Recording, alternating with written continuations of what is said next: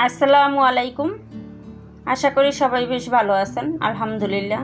প্রতিদিনের মতো আজকেও চলে আসলাম নতুন একটি ভিডিও নিয়ে। আশা করি ভিডিওটা ভালো লাগবে।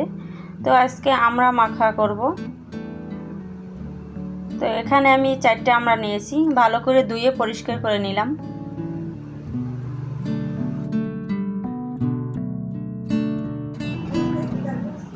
একটা একটা করে আমি সবগুলো ছুলে নিব। এই তো আমার ছোলা হয়ে গিয়েছে, এখন আমি বটি বা দা যাই বলেন না কেন, ওইটা দিয়ে আমি টুকরো টুকরো করে কেটে নিলাম। আমি ছুরি দিয়ে কাটতে পারি না। তো আমার বটি দিয়ে কাটতেই স্বাচ্ছন্দ্য বোধ করি। তাই দেখালাম না। আমি জানি আমার বড় আপুরা আমার থেকে ভালো পারেন মাসাল্লাহ তো এখানে আহামরির কিছুই না, আমরা বর্তা সবাই পারে। তো আমি এভাবে করে খেয়েছি, অসাধারণ হয়েছিল, এজন্য আমি আপনাদের সাথে শেয়ার করলাম।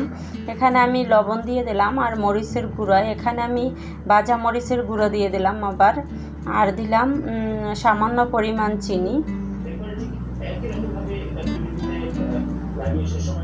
দিয়ে এখন আমি এই ডাকনাটা দিয়ে হাতের সাহায্যে জাকিয়ে নিব, যাদের হাত জলে তাদের জন্য এটা সুবিধা হবে। এখানে আমি সর্বশেষ অবস্থায় ম্যাগি মশলা যেটারে বলে, ওইটা সামান্য দিয়ে দিলাম। আর দিলাম সরিষার তেল। দিয়ে এখন আবারও আমি চাকিয়ে নিলাম।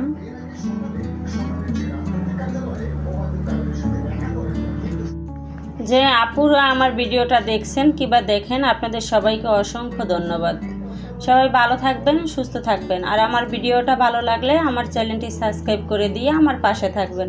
আর যারা অলরেডি এই কাজটা করে নিয়েছেন, তাদেরকে অসংখ্য ধন্যবাদ। আল্লাহ হাফেজ, আসসালামু আলাইকুম।